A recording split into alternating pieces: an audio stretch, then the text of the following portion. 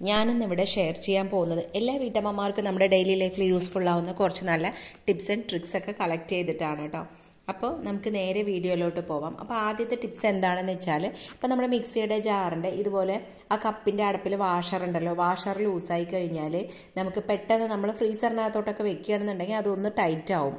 അപ്പോൾ ഫ്രീസറിനകത്തോട്ട് വെക്കാനൊന്നും നമുക്ക് തീരെ സമയമില്ല. പെട്ടെന്ന് നമ്മൾ എന്തെങ്കിലും അരച്ചെടുക്കാനാണ്.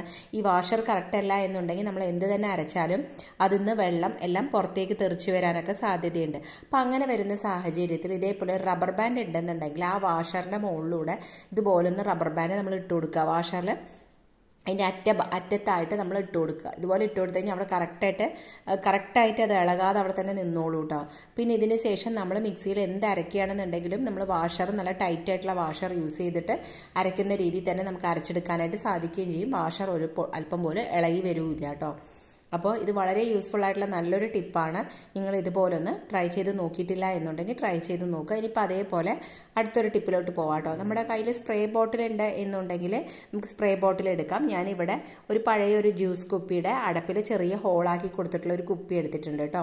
എന്നിട്ട് അതിലേക്ക് ഞാൻ ഇതേപോലെ കുറച്ച് ഡിഷ് വാഷ് ലിക്വിഡ് ആക്കി കൊടുക്കുന്നുണ്ട്. കുറച്ച് ശരിക്കും പറയുകയാണെങ്കിൽ ഒരു ടേബിൾ സ്പൂണോളം തന്നെ ഞാൻ ഒഴിച്ചു കൊടുക്കുന്നുള്ളൂ കേട്ടോ. അതിന് ശേഷം ഇതിൽ ഫുള്ളായിട്ട് ബാക്കി നമ്മൾ നോർമലായിട്ടുള്ള വെള്ളം നമുക്ക് ഒഴിച്ചു കൊടുക്കാം. നമ്മൾ ഈ ഒരു ചെറിയ ബോട്ടിലാണ്. ഇതൊരു ശരിക്കും പറയുകയാണെങ്കിൽ ഇരുന്നൂറ്റമ്പത് എം എല്ലിന്റെ ഒരു കുപ്പി വെള്ളം മാത്രമേ ഇതിനകത്ത് കൊള്ളുള്ളൂ കേട്ടോ. അത്രയും ചെറിയ ബോട്ടിലാണ്. പക്ഷേ ഇത്രയും ചെറിയ ബോട്ടിലെ വെള്ളം മാത്രം നമുക്ക് മതിയാവും. നമ്മുടെ വീട് മൊത്തമായിട്ട് നമുക്ക് ക്ലീൻ ചെയ്തെടുക്കാനായിട്ട് കേട്ടോ. അപ്പോൾ ഇത് വളരെ യൂസ്ഫുൾ ആയിട്ടുള്ള നല്ലൊരു ടിപ്പാണ്. അപ്പോൾ നിങ്ങൾ ഈ ഒരു വീഡിയോ നിങ്ങൾ സ്കിപ്പ് ചെയ്യാതെ കാണാനൊന്നും മറക്കരുത് കേട്ടോ. ഇപ്പം നമ്മുടെ അടുക്കളയിൽ നമ്മൾ കിച്ചണിൽ നമ്മുടെ രാവിലത്തെ കുക്കിങ്ങും എല്ലാം കഴിഞ്ഞു കഴിഞ്ഞാലുള്ള അവസ്ഥ ഈ ഒരു അവസ്ഥയിലായിരിക്കും. അതായത് കൗണ്ടർ ടോപ്പ് ആണെങ്കിലും ഗ്യാസ് അടുപ്പാണെങ്കിലും ഒക്കെ വളരെതായിട്ട് വല്ലതൊക്കെ തിളച്ച് പോയിട്ടും ഒക്കെ എണ്ണന്റെ അംശം ഒക്കെ തട്ടിപ്പോയിട്ടും ഒക്കെ ഭയങ്കര ഇതായിരിക്കും അപ്പോൾ നമുക്കതൊരു ക്ലീനിങ് തന്നെ ഭയങ്കര ഒരു പണിയാണ്.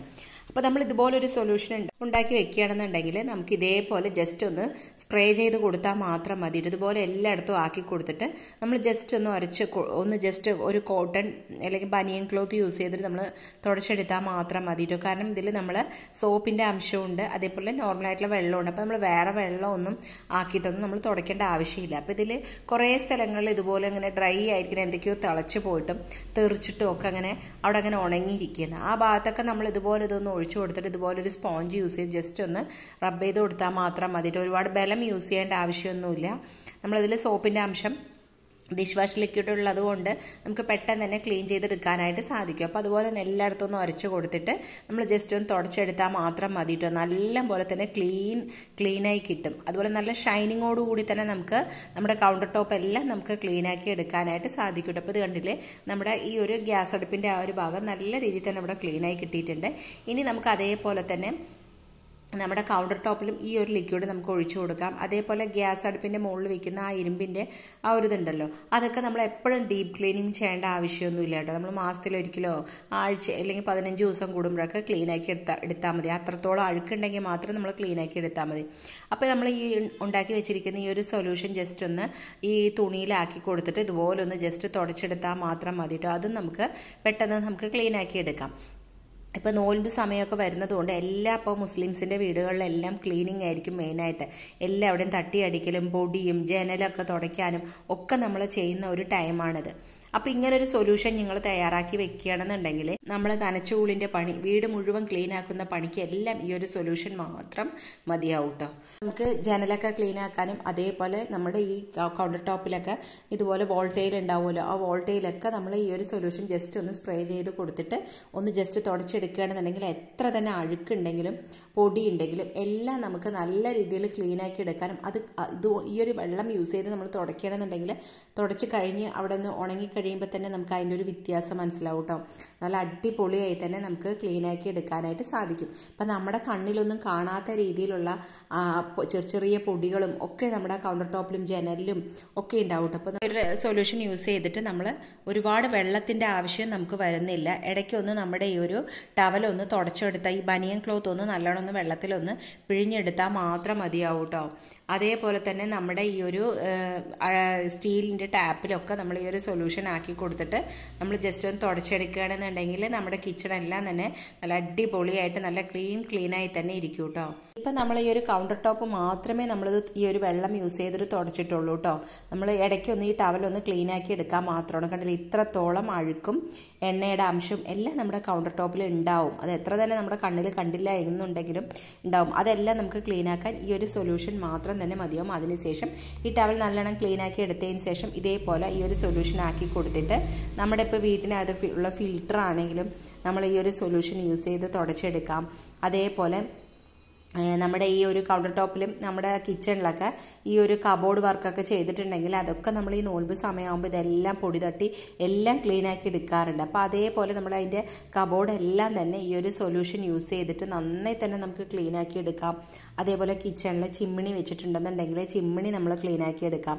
ചിമ്മിണിക്ക് ആ ഒരു ഫിൽറ്റർ നമ്മൾ അഴിച്ചിട്ട് ഈ ഒരു സൊല്യൂഷൻ ജസ്റ്റ് ഒന്ന് ആക്കി കൊടുത്തതിന് ശേഷം കുറച്ച് സമയം വെച്ചിട്ട് കഴുകി എടുക്കുകയാണെന്നുണ്ടെങ്കിൽ നല്ല രീതിയിൽ തന്നെ നമുക്ക് ക്ലീൻ ആക്കി എടുക്കാൻ പറ്റും കേട്ടോ അതേപോലെ തന്നെ നമ്മൾ പാത്രം കഴുകാനൊക്കെ ഉണ്ടാക്കി വെച്ചിരിക്കുന്ന സൊല്യൂഷൻ യൂസ് ചെയ്തിട്ട് നമുക്ക് പാത്രം കഴുകിയെടുക്കാനും പറ്റും. അത് നോർമലായിട്ട് നമ്മൾ എപ്പോഴും അങ്ങനെ തന്നെയാണല്ലോ പാത്രം എല്ലാം കഴുകിയെടുക്കുന്നത്. ലിക്വിഡ് ഡിഷ് വാഷ് യൂസ് ചെയ്തിട്ട് കഴുകുമ്പോൾ. അപ്പോൾ അതേപോലെ തന്നെ നമുക്ക് ഫ്രിഡ്ജ് ബോഡി മൊത്തമായിട്ട് നമ്മൾ തുടച്ചു കൊടുക്കാം കേട്ടോ അതേപോലെ തന്നെ വാഷിംഗ് മെഷീൻ ഇലക്ട്രോണിക് സാധനങ്ങൾ ഉണ്ടെങ്കിൽ അതെല്ലാം നമ്മൾ ഈ ഒരു സൊല്യൂഷൻ യൂസ് ചെയ്ത് തുടക്കുകയാണെന്നുണ്ടെങ്കിൽ നല്ല പോലെ തന്നെ ക്ലീൻ ക്ലീനായി തന്നെ കിട്ടും കേട്ടോ അതേപോലെ മുഖം നോക്കുന്ന കണ്ണാടി അതേപോലെ ഡൈനിങ് ടേബിൾ പിന്നെ ജ ചില്ലിന്റെ എന്തൊക്കെയുണ്ടോ അതൊക്കെ നമ്മൾ തുടച്ചു കൊടുക്കുകയാണെന്നുണ്ടെങ്കിൽ നമ്മുടെ ക്ലീനിങ്ങിന്റെ ആ ഒരു ജോലി ഉണ്ടല്ലോ വളരെ എളുപ്പത്തിൽ തന്നെ തീർക്കാനായിട്ട് സാധിക്കും.